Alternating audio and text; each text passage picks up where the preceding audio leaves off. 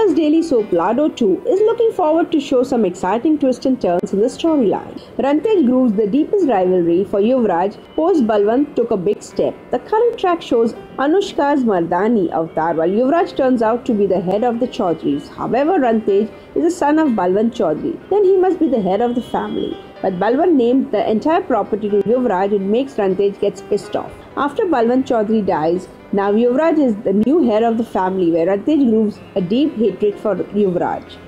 Runtej will soon plan and plot to avenge Yuvraj. Let's see if Yuvraj will ever get to know about Runtej had killed Balwan. Stay tuned to TV Primetime for more such exciting updates and upcoming twists.